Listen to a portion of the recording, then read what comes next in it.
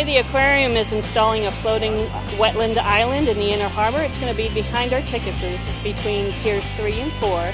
And what it's going to do is help uptake nutrients from the harbor waters.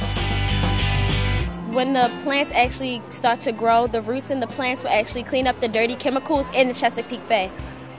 There's a lot of trash in the harbor, and the islands, well, are supposed to grow into wet marshes, and that's their wet marshes tend to prove that they're very good for environments.